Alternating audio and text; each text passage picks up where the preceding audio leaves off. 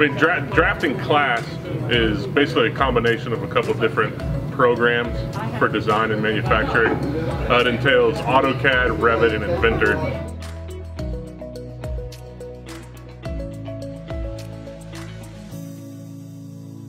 Those three class, those three classes combined with you know basic general drafting knowledge can help students get uh, access to career fields, you know, in manufacturing, uh, agricultural design, architectural design. What made me join drafting would be having that college readiness or after your high school readiness because you're able to take these certifications and use them in the real world right after high school. I would say probably just being challenged and just it sounds fun, so why not? Being able to get certifications and use all the software.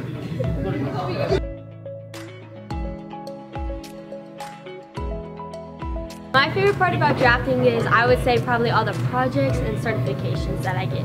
I like that you can be creative. I like that there's a creative aspect and you're going to be hands-on with projects.